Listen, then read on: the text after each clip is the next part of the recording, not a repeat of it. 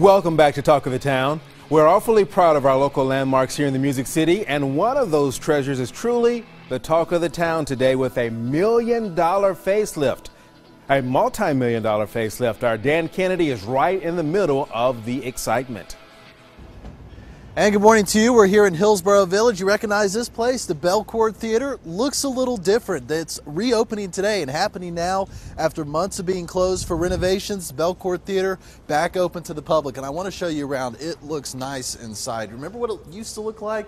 Uh, well, back in December, it was actually Christmas Eve of last year, they shut it down for renovations, much needed, because this building has been around since 1925. And you know, with all that history and the old buildings, comes the need for some renovations every now and then. In fact, it hadn't been touched in about 50 years.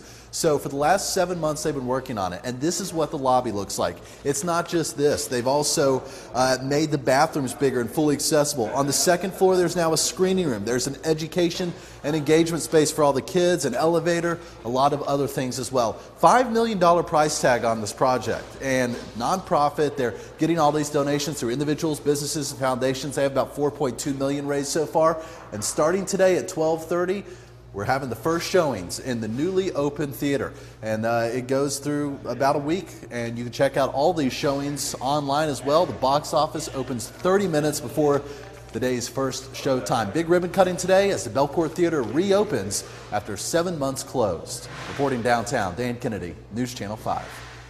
Boy, that looks fantastic. So I've gone to the old theater, so looking forward to see this. You should check that out. This weekend would be a great place to go and kind of cool off in all this afternoon heat.